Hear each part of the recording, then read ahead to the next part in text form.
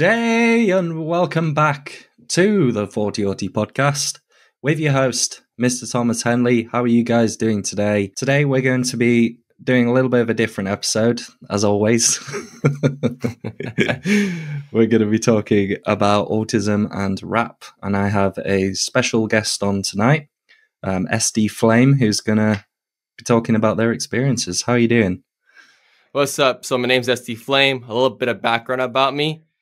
I'm from a city of Mississauga. It's located in the Greater Toronto Area, the GTA. I've been in Toronto twice for opportunities with the nonprofits. I won a small press one this summer. I did a lot of training, and I'm happy to be on the show. I also went and inspired, I'd say, like about over 100 people with disabilities outside my music too to push more cool. motivation talks with this music. And um, I'm right in thinking that you are autistic yourself and ADHD. Yep. yep. Got diagnosed so, four and a half. four and a half. Wondered why the hell I was in a hospital, but I was in a hospital. yeah. So um, I I actually have a um, invested interest in in sort of rap music and stuff because I I think when we had our pre chat, I was talking about my my playlist of dark trap, uh, which is like trap music's form of rap, and then dark trap's yeah. like the heavy metal equivalent of it. Very strange music. What what did you think about it? I didn't really check it out, but I feel like it's giving me kind of like Suicide Boy vibes or some shit like that. Yeah, yeah, well, it's it's it's not like um, it's not like emo rap. I yeah, mean, I'm I'm I'm partial to a bit of emo rap, but um, mm-hmm. I do I do like all the like the old school stuff. Uh, Biggie Smalls is like one of my like go to. For me, for me, it was Nas.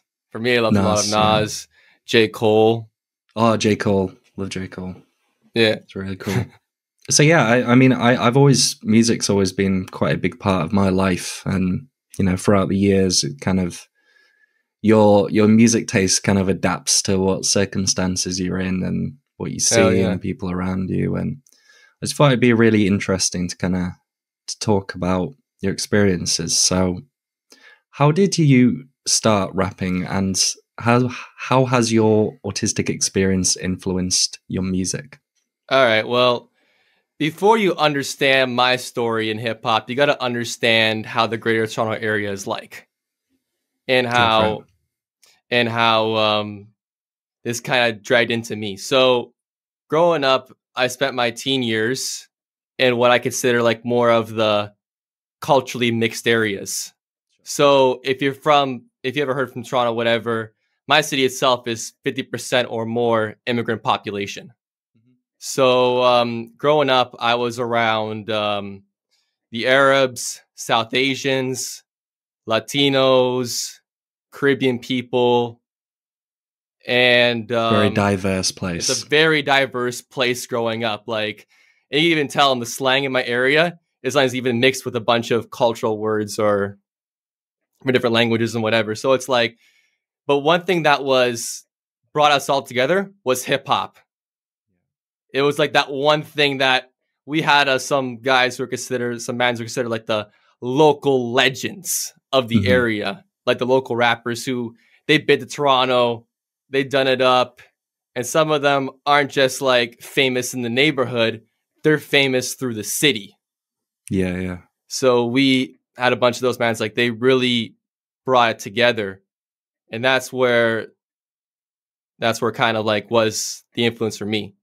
So what kind of got me to start going through hip hop and whatever was I was introduced to at 15, but I didn't really think too much of it. I was someone who's just listening to rap, 16 and whatever, Nothing was stuff. going for me in life.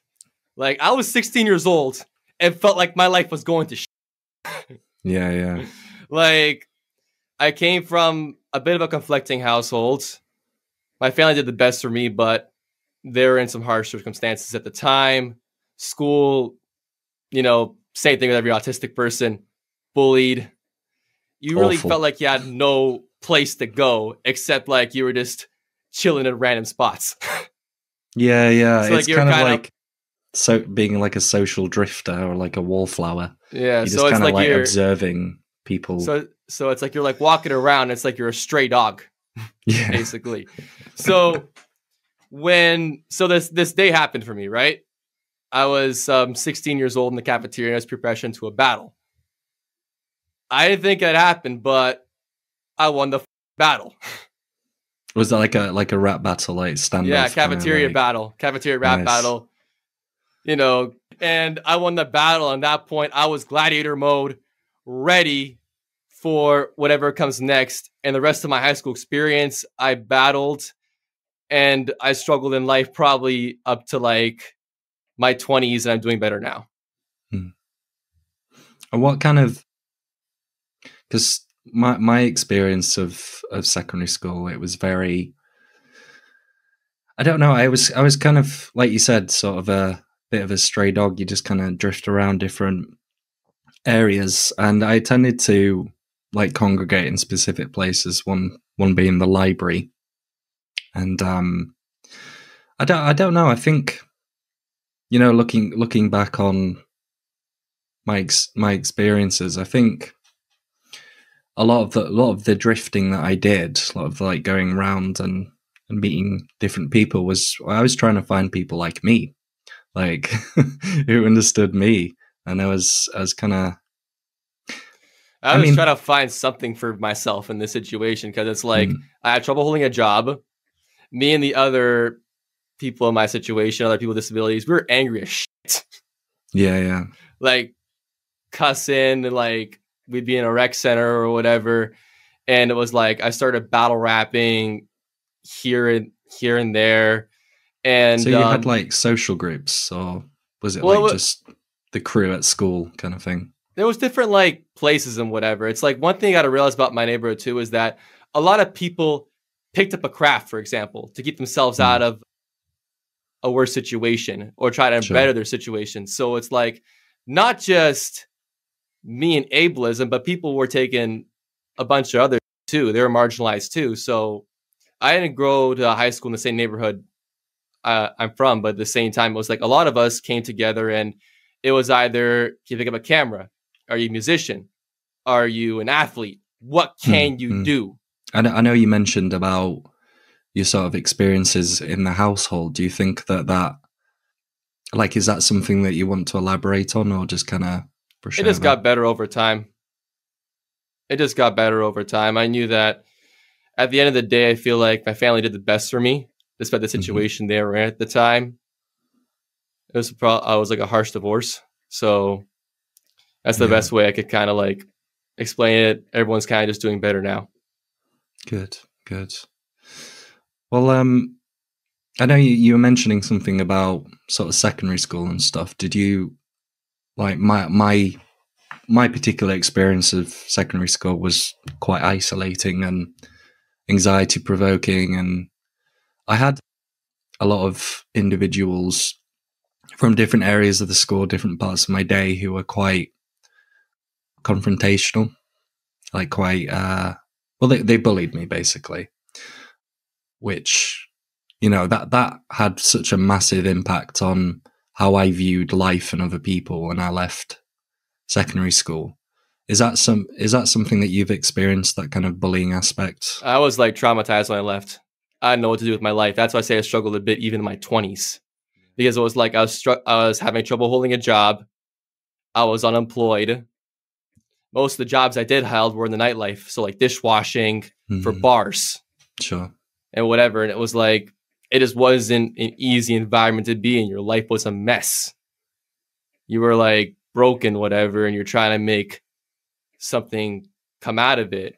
That's sure. what made me take rap more seriously at 19 because I just felt like I needed something to do. Part of the reason why I say stay blessed at the end of my videos is that I'm happy that things didn't get worse for me. I'm yeah. blessed every day that I wake up and I got something to fight for for more. Hmm. Well, I you know, when when you were telling me about your your story, sort of in the pre chats, you know, I uh, I identify a lot with you know what you're trying to do at that at that age that you're talking about, around sort of early or late teens, early twenties. My focus was to be an athlete, so I was like, oh, right, I need to to get on that, and that sort of endeavor, that idea in my head of getting to a certain place was enough to kind of pull me along through all the, the difficult times at school, particularly. Yeah. So it was like, same with kind of me too. Like I was a very kind of in his own kind of zone kind of person. But yeah. then over time too, I did learn how to socialize. I had some hmm. homies mm. who were club promoters. They took me out. I was like, socially awkward, but I made it work. Yeah. I just made it work. and in a way, I kind of networked away myself through not just my city, but through the whole greater Toronto area. Mm-hmm. So I've been to downtown Toronto. I've been like, I've been to a lot of places. I've been to Toronto even recently for training opportunities to train in some programs. And is that programs for you or programs that you're helping? No, these are with? programs for me to like train in hip hop and sure, sure, do better, do better and with too. But like I, I'm happy I went through it. It made me into a better artist at the end of the day because it helped condition yourself to work on yourself and uh, figure out more of what you got to do. Mm-hmm. I um I, you mentioned something about sort of the like the socializing and the social landscape, and we'll we'll touch on that in a sec. But um, before we uh, sort of logged on to to do this podcast, I had a look through your music. Um, I well, I searched your name in on Spotify. I had a look at some of them, and I like the, two that that really stood out to me was I liked the uh, Redemption Shot song, um, but I also liked like some of the um particularly the song Ladies Night and Ice Like Winter Heat. Wait, I can't see the rest of that. Like summer. yeah, yeah, yeah. Like summer. So it was like it was like in a kind of way you felt like you were this uncommon breed with this kind of shit. So mm. it was like when you're in these places and whatever, I was trying to think of a way to like kind of rise up from the shit you were in mm. and whatever. It was like, my nights are sleepless. I'm trying to go be something. Gotta work and grind. That's what I find. Pain, hustle, and work, put it together combined. And you are reminded that I'm one of a kind. That kind really, of thing. Yeah, yeah. I love. I like when when you when you get like the flow going on the songs like this. I I, I really like it. It's um. I'm not. I'm obviously. I'm not like a music industry person, so I don't know all like the lingo and stuff. But like, I like the so like a lot of the songs. They're kind of sort of laid back and quite. I don't know. It it kind of gave me some of the songs gave me like, you know, like Ice Cube kind of chilling back and sort of rapping about stuff. I kind of uh, wanted to have that kind of sound with me, but I still wanted yeah. something that would hit hard. So that's what mm-hmm. I was mm-hmm. trying to go for. Yeah. That's what I was trying to go make happen with it. And a way, too, a lot of mans will like chill back and listen to my music. Sometimes mm. they'd be drinking or even having a smoke. yeah, yeah. It's kind of funny to look back and it's, I appreciate them all. Doing wrong, I love them and and whatever. But it's just one of those things where it was like we were more chill back and mm. doing this it, kind of. Sh- I like it because there's there's some of the songs in there where you kind of like, I mean, to be honest, with all of them, you've been like very sort of experimental with like how you're rapping and like the ways that you rap. It's like it's quite um it's quite cool. Like for me as a as a as a listener to kind of because the rappers they kind of have the some of them have like quite a diversity in the ways that they rap and some of them are like pretty just like they've got one kind of rap voice and they just go with it. And I like. I to... was doing a lot to find my voice in this. I was hmm. doing a lot to like. I was doing too much, probably even to like try to find your flow and cadence and your style. Yeah, I had an idea in my mind of what I wanted to do, but it takes a long time for it to come out of you. Yeah. And man. that's where I had to be mentally conditioned too. Hmm. I think it's um like uh it's it's good like uh, even sort of trying to draw a comparison to my own life I think you know experimenting with topics and YouTube videos and podcasts and stuff it's always like very important because you got to kind of nail down like your niche and your your way of delivering things and you know what you talk about who you talk to. I kind of like to do a bunch of things too like i kind of like to draw mm-hmm. from different perspectives there's times i like writing club bangers there's times like writing more serious deep storytelling it depends sure. what what i feel at the time it depends what i want to kind of aim Mm-hmm. I have like notebooks behind me of a bunch of uh, whatever I could I could do I can do. I have notebooks upon notebooks, stacks and stacks of lyrics. Nice, and at one nice. point too, what made other rappers see I had potential and other people in music see I got potential, even though I wasn't at the skill level they thought mm-hmm. I should be at, was my lyric writing. Mm. Because they were like, if we figure out how to get it out of him, what he's got written on paper, he is gonna be lit. Yeah, man. I, I, I definitely saw that. I, I can definitely. We'll see it. I heard it. well, like I, can definitely I had one homie that, say man. that. Like I had one homie say that to me like years later. He said, "Well, me and him were having a phone conversation. And I said to me, well, at the time I didn't think that you were that good, but he said you had potential because mm-hmm. of what you were writing. Sure. And then um, suppose sort of jumping back a little bit to the first point, I mean, how exactly did you did you go about starting? Like was it was it that situation with the rap battle that that's when you you started to get more into it? Or did you like you know, in in in your notes in class, just like writing down lyrics and. I've done that. I've done that. I freestyle in front of mirrors, but when I started building a recording studio, I would say about 2021. Hmm. I started taking um, the money that I got from working all these hard ass jobs from oh bro i got stories for you Go for it. Go. Okay. So, me and a few other dishwasher disabilities, we're all working this one spot in the downtown part of my city in this mall, and it was an arcade venue, nightlife place. Hmm. And we would have stories of people being like drunk. One person I think told me that we were all working the pit and there was an emergency exit from the VR room to the dish pit. Someone fell through. oh my god! Wait, the, the VR room, like virtual reality. You have oh my god! So it's like well, just descri- describe this complex, this uh, was, this place, because it's so. When this place first opened up, I got fired and hired the same day. I I probably hold the record for shortest employment uh, unemployment rate at um, my employment service for special needs in my area. sure, sure.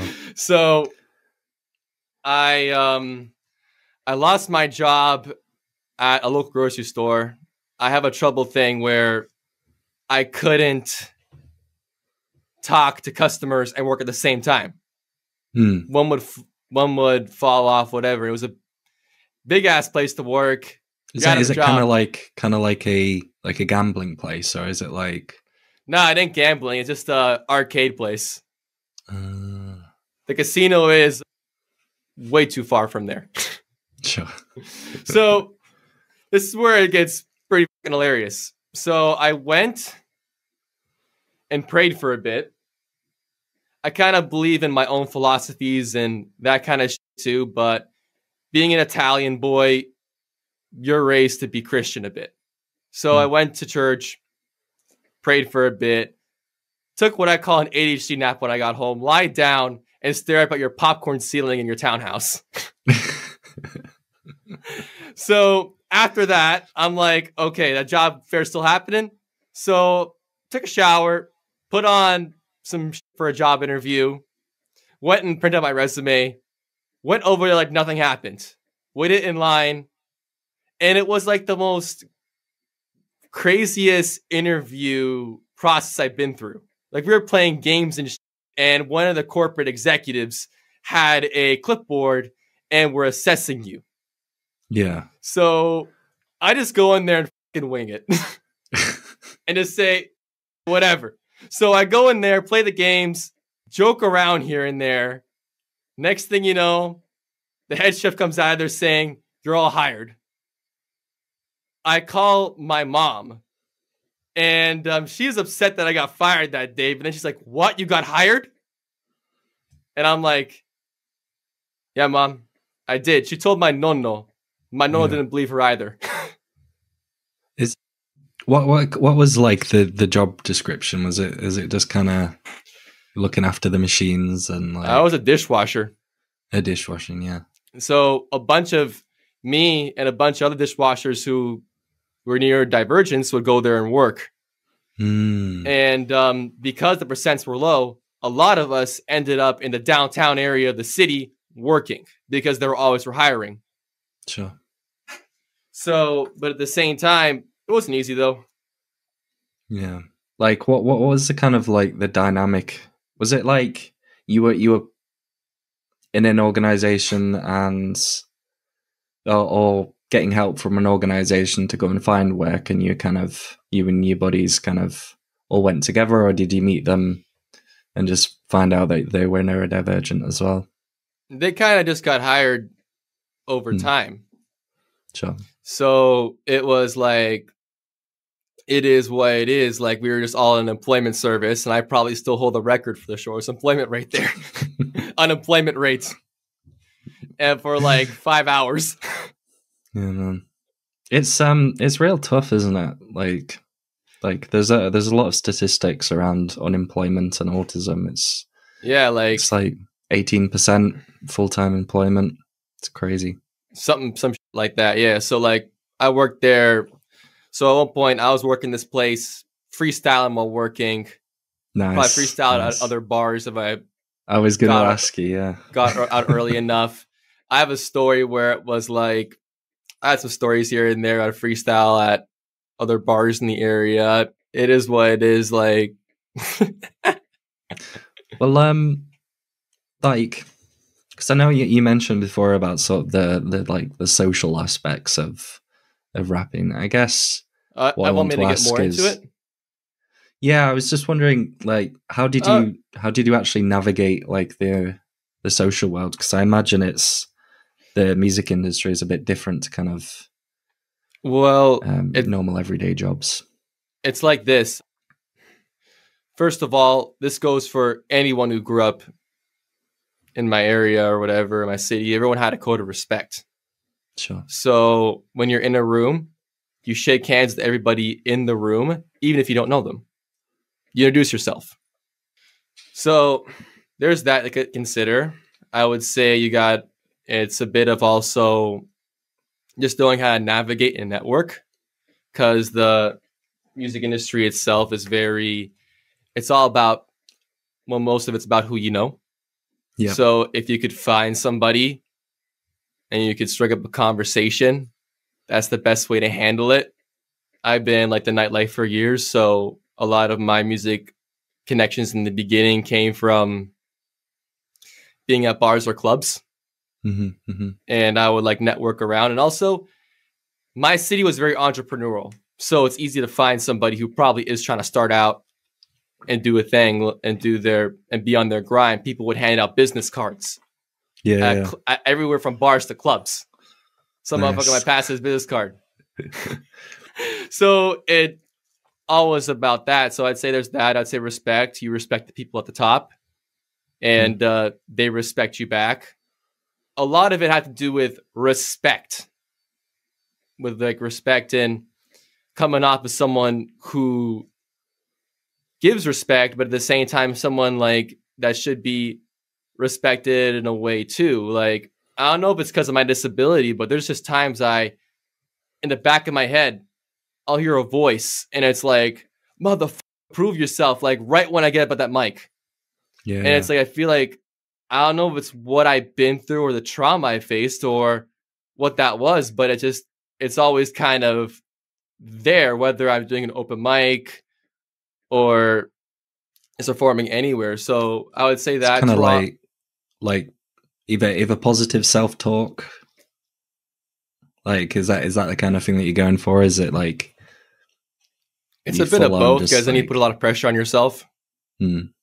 and you go through a lot. Your nights are sleepless. You're a bit of that. Yeah, I would say. I but at the same time, too, it's what I would say too when it comes to everything about the social aspect of the music industry. When I went to Toronto, it was a very kind of similar situation, but now you're around people who are even way more high up. Mm. Because when I applied for the places to be in Toronto for training, you know, they have a interview process. You get in, you go in there and you talk to a lot of people. I've been around Juno nominated artists, which are kind of like our top awards for Canada. Mm-hmm. I've been around people who um, said they worked with Drake. Wow. And all that. So I would say people are relatively chill there, but at the same time, you just don't want to come off as like, I would say, you, you don't want to be cocky or don't want to yeah, be kind of yeah. like acting like you're some big man when you're not. Like you got you kind of want. Is that something that you've learned? Is it? Did you have to like learn that, or is it kind of? It's a little bit of, it's a little bit of both. I feel like there's times I probably bigged up myself in some situations where I felt like I could have done better. I don't have mm-hmm. to be mm-hmm. like that. You have to be so ego intuitive, but at the same time, though, you learn from it and you figure out how to do better next time. You go in there, kind of shake hands. So it's like it's a bit of knowing your self worth, I would say, but also learning to keep humble, but also mm. wanting more and to push and be on your grind, your hustle. Yeah. It seems like you've got kind of like the the social landscape quite sussed out. Like you uh I mean, did, were there any situations that you had that that really kind of you know being autistic sometimes we struggle to sort of comprehend very complex things that aren't like said to us to our face. Do you find that there's been situations where perhaps you're not really getting things has become an issue? Oh, I got a I got a funny story with you on this one. okay. so stories are rolling. like it. So at one point, this is where I look back and I say I could have done better. Hmm. so I uh, knew this other other MC from the same area as I'm from, and me and him knew each other for years. He's seen me from when I was 19, still trying to take it more seriously and whatever. And yeah. it's been ironed out between me and him. He's forgiven me. I apologize for the way I was or whatever. As everyone else getting more opportunities except me. And I, when I remember I went to, I think one of the uh, events he was doing, and I was like, at the end, been kind of complaining and whatever. And he kind of he kind of like roasted me a bit too, but after said at the same time, well, we'll go look for it. And, sh-. and the next thing you know, he sent me a message on, and uh, he showed me that Toronto was looking for more people for a training program. And I put my application, got it, first opportunity in Toronto. Nice. Nice. So, so that was like what funny is like, you want opportunity? Here's your fucking opportunity is there any like programs that are for like disabled people to get into the music industry? I would say um my area, I'm still looking for them. Yeah. I'm okay. still looking for them. The majority of the places I trained for hip hop and rap were more of like POC places. Mm. Some members of the LGBTQ community were there. There are sure. other people with disabilities there too, other people with ADHD and other situations too. So that is one thing to kind of consider. But at the same time, though, you just want to go in there and just show you're respectful. Yeah. I like that. I guess something that I want, something else that I wanted to ask was, you know, what kind of aspects of being autistic or being ADHD do you think as like contributed positively to your to your rapping, your, your career? Okay, so the thing about this is where we get into mental conditioning. Mental hmm. conditioning when you're dealing with, let's say, a neurotypical brain, there's different parts you condition. Like they obviously condition, think, neurotypical rappers to think faster.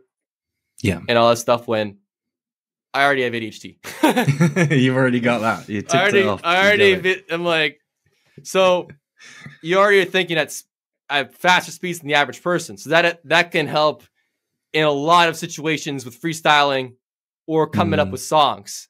Mm. You kind of just stim a bit, have repetitive thoughts. You have a hook. Yeah. Yeah.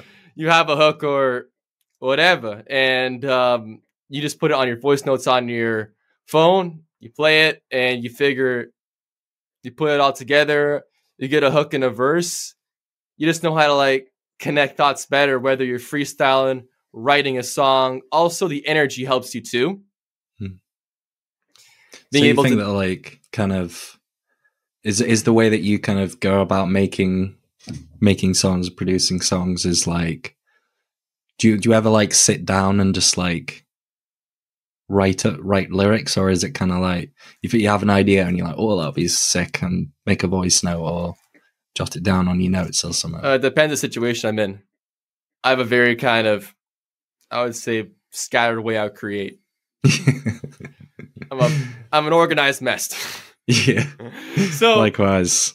so it's like when it comes to, I would say that when it comes to the autistic part with helping you with rap, you're more creative than the average person. I swear, I probably didn't lose my childhood imagination. Yeah, yeah. So when you're coming up with similes, punchlines, metaphors, and, and wordplay, it's a bit easier for you. That's how you're such a vivid lyrical person because you mm. picture it and yeah. you make it and you make yeah. it work in that kind of sense. I think it's it's interesting that, isn't it? Because autistic people, we tend to focus more on like, I guess more more direct communication, like uh, speaking just from one end to another, rather than sort of morphing it. So I, I guess like the act of going in and writing lyrics and sort of all that wordplay and stuff would come quite naturally to us. Yeah, like that's the part. Those are the parts of like being autistic helps with rapping and gets you through to people at the mic. Hmm. I guess I'm guessing like the the hyper focus is probably a good one as well. Yeah, it helps too, especially in a that situation. Also, don't get wrong about my neighborhood too. There was a bunch of other European immigrants there too. About that part too. So I'd say, I would say, yeah, it was everyone. So I'd say, yeah, it's like you got to know how to combine certain parts of your disability and make them work. Mm-hmm. And once you figure out that part mental conditioning, but it takes a long, long, long time. Do you ever get burnt out? Yes. You can get burnt out behind this place. There was times I wanted to throw this out a window. Yeah. Yeah. But at the same time, this is expensive. Yeah. You could spend hours down here and you can lose track of time. Yeah, so it's like it, it does affect you. It's rap is it's a creative artistry form, but I feel it's like a competitive sport too. Mm-hmm. So when you're yeah when you're in these situations, you are very um kind of it could be very like stressful too. You could be burned out. You can wake up and you're like your voice and feel like right. You wake up with headaches. Mm. You gotta take a moment to take a minute, breathe it out. It can be very, it can be taxing on you mentally too. That's, mm-hmm. but at the same time, that's why you're conditioned too. So it's like when you're, the part of the mental conditioning is that now you got to deal with detents. Sometimes when I breathe behind the mic, it isn't just to catch my breath, but to slow my heart rate.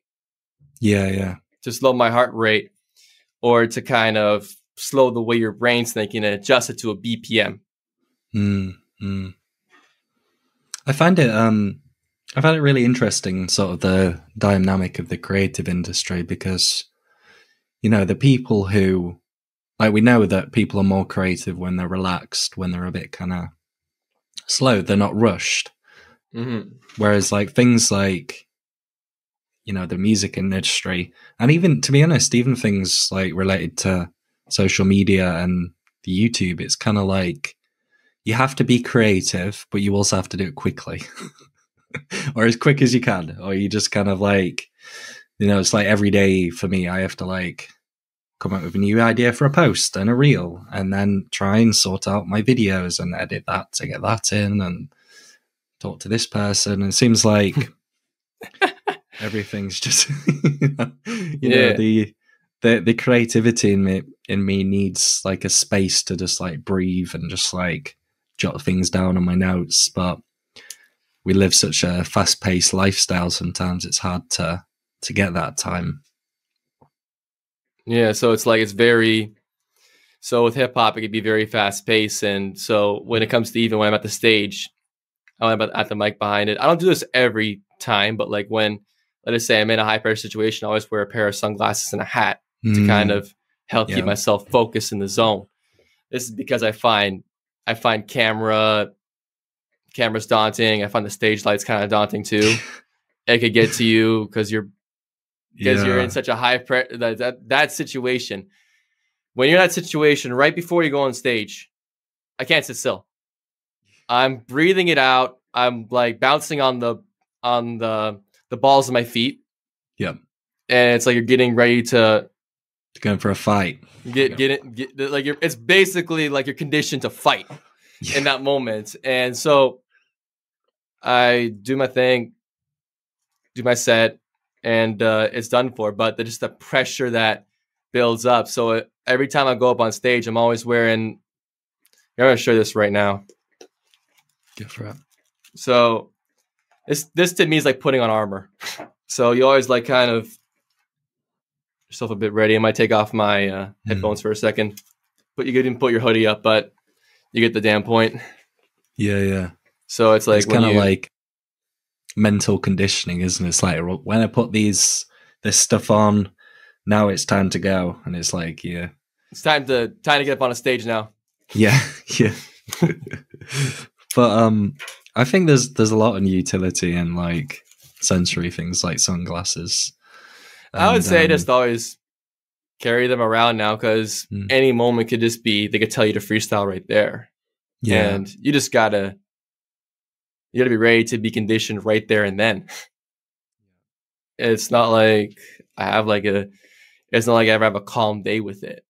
Well I do, but when I'm out in public or whatever, like well it depends. If I'm just with the homies and it's a small little circle, I can freestyle without this on. Yeah. But when I'm on like a stage situation or like a venue situation, I put it on. Mm-hmm, mm-hmm. I found it really interesting listening to you talk about it because it's, you know, as you're speaking about your experiences with your music career, I'm, I'm constantly making links to like my experiences as an athlete. Like yeah. it was the same for me. Like I, I just, there's been a lot of times actually before going on and fighting. I, uh, I had panic attacks. I had meltdowns. I, you know, like my my my GI tract was like on fire, like pretty much every single time before a competition, and the noises were awful. the The lights are so bright. I wish I could have worn sunglasses. like, there's so many aspects to like actually going out there and doing it that was so hard. It was the training that I found quite like this the training that hmm. I liked mostly. I like fight. I like fighting and competing, and you know, it gave me passion and a reason to to do the training. But the actual experience of the the environment was like very, very. Um, I don't want to say triggering because I don't like that word, but triggering is probably. I love hip hop though, despite yeah. all this I went through. I love yeah. being a rap. I have a passion for this. I I have a lot of respect for the old heads that came before me, some of the people who trained me to do this and had the patience to. Yeah, yeah. So for me, I I love what I do at the end of the day. It's just it could be a lot on yourself too. Just seeing yeah. that this was something that I started with a USB mic and Dollarama headphones. Mm. To now having all humble beginnings all of this. And I like them. We uh, and just having stories of the bros just building makeshift recording studios and cardboard. At the same time, though, there's a chill side of the environment too. Like I can't drink when I'm when I'm rapping Hmm. because it just affects your focus behind the mic. yeah, yeah. Or like it sl- slows your brain down, doesn't it it? slows your brain a bit and whatever. So you need a bit, or it's either you're drinking and you're like have like a glass of water right next to you. yeah, and so and even then it's probably like a light beer.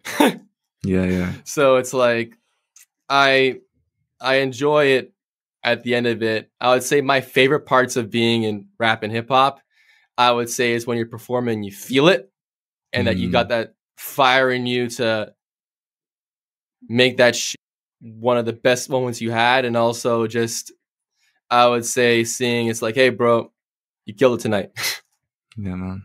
you killed it tonight. And uh, there are some situations too where I'd be at like a store, whatever, just chilling myself, and uh, one of the other mans who recognized me from a bar, whatever, be like, "Hey, I saw you perform perform a while back," and it's like I gotta take a double take.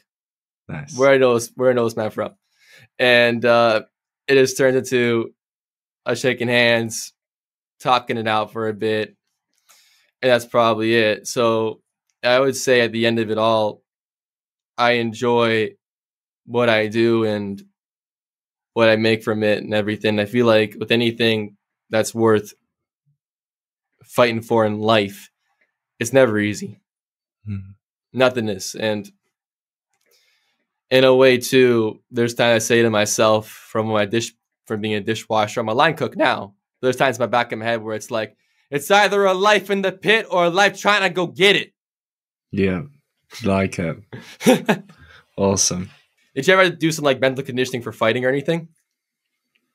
Yeah, I mean, I th- I think a lot of the mental conditioning for me was just like, I I used to go really hard on the training. Like, I probably overtrained like a lot, and I didn't eat much because I had to stay in like a weight category. I used I used to go out on like, like when when everyone was off for the summer holidays, kind of going out and meeting up and partying and stuff. I'd be like writing myself like a free session a day program. I'm like, but I, I wore myself out so much of that time, but I just always just kept like going for it and, and grinding it. And I think knowing that I that I did as much as I could really helped, like with with my mind on it. It's like, well, I've done everything that I can for this, uh, everything that I feel like I can. So yeah, in I, I suppose the mental conditioning I think is a is a big part, and I think also stepping back a little bit from the results of what happened and rather you know highlighting the things that I'm getting better at and getting good at, getting worse at maybe, and sort of adjusting because you know a lot of the competitions that I did were at the local level. Yeah. I did do the international stuff and the sort of the big competitions, but the local level stuff, I needed to kind of take a step back, say like, okay, I don't really need to win this. I can just practice a couple of things in like actual competition and and go for it. And but I don't, I don't think I ever got the whole keep myself calm thing. I think I, I always really struggled. But the, the funny thing was is that everyone that saw me in competition, they always said, "Oh, you're like the chillest dude in the venue. You're like you look so relaxed and confident." I'm like, really? Because I just like feel like I need to go puke and like rock back and forth in the toilet. That's Like- me sometimes. I have this weird thing where it's I'll be in such high pressure situations and I'll be like, yeah, sure. Yeah, yeah. You just kind of like, hmm. It's funny in a it's funny in a sense because I competed a bit in wrestling too, and that was like a weight category thing too, where it was Mhm. I did not. I did not do the weight stuff very well at all. I I hardly anything. I was like, I'm at this height. I'm about six three. I weigh about hundred kilos, and I was the same height back then, but I weighed seventy two kilos. so I was like a skeleton. jeez. it's all about it's a with taekwondo. It's all about like point scoring. So mm. the longer legs that you can have for the weight class, the better. Mostly. Yeah. But yeah, I I've really really really enjoyed chatting to you, and I think it's you know it's always interesting to hear the stories of of autistic people, ADHD people, sort of doing different, taking different routes in life. It's always really great to kind of get an insight into, you know, how life is for other people chasing different things. And I've, re- I've really enjoyed, really enjoyed chatting to you. So I guess usually at the end of the podcast, I would kind of ask people for a song of the day. So if you of... wanted to do redemption, like, yeah. you, could, you could you could do that. I don't know if you want to put maybe the parental advisor sticker on this one because of how much I.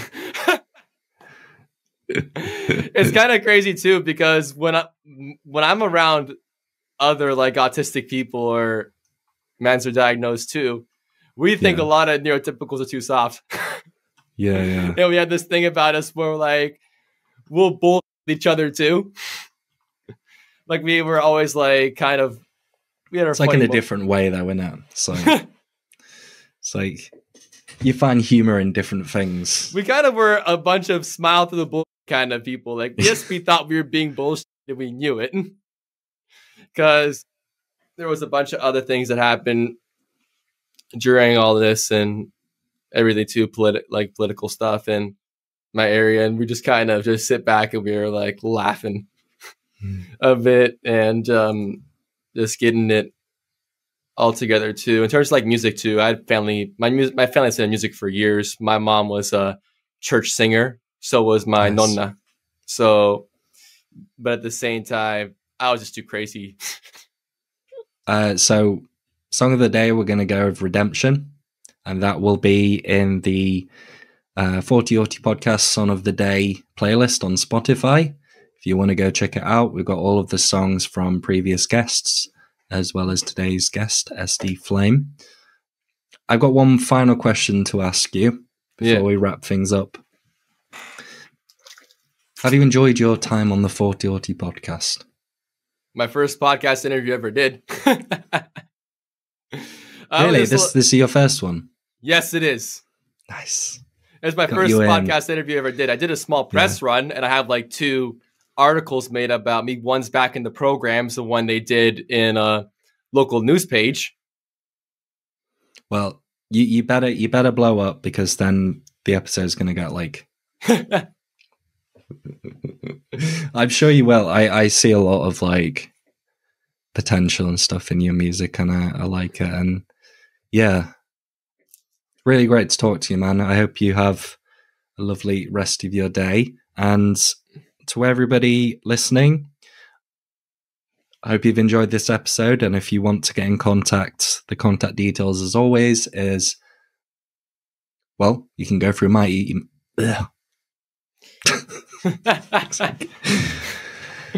So, if you have enjoyed this episode, uh, make sure to head over to my links. Uh, they're all always down below. You can check out the podcast on multiple different streaming services Apple, Google, Spotify, and of course, the video version over on YouTube. Uh, Thomas Henley, that's where it is. And if you want to stay up to date with the stuff that I'm doing, maybe you want to check out the blog art- blog articles, the reels, all of my social medias are at Thomas Henley UK, apart from YouTube. And if you want to get in contact with me to perhaps be on the podcast or to um, get me to do some training, public speaking, coaching, anything like that, go over to my website, thomashenley.co.uk, and you'll be able to find a contact card on that page. Are there any links that you want to share about SD? Put my link Follow, follow my Instagram, Spotify. If y'all like what you hear, I promise you, I'm releasing more. Come on. Awesome I'm even stuff. trying to get my TikTok going again. I'm trying to get everything together. Went through a minor setback, but I want to like do more with it too, and like yeah. be more open. That was like one thing I challenged myself to be on this podcast today. Mm-hmm. Be more open no, no, about I, my I life really, and all that. Really really appreciate that, and it's it's um, you know, it's it's it's really great to hear, especially and like if there's there's people who are watching, sort of up and coming, who are, you know, they're thinking of, you know, perhaps getting into an industry like the music industry. Um, I'm sure your your words and experiences have, you know, done a lot for them.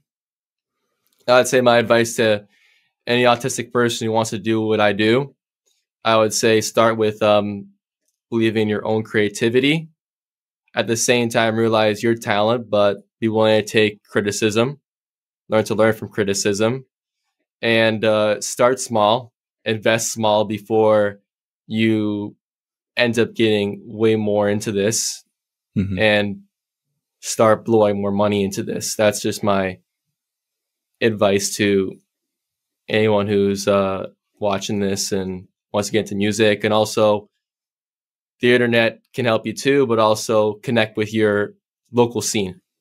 Mm-hmm. Cool, man. Thank you very much for that. And with that, I hope you all have a very lovely day, and I'll see you in the next episode of the Thoughty Auti podcast. See you later, blessed. folks. Thanks. Appreciate having me.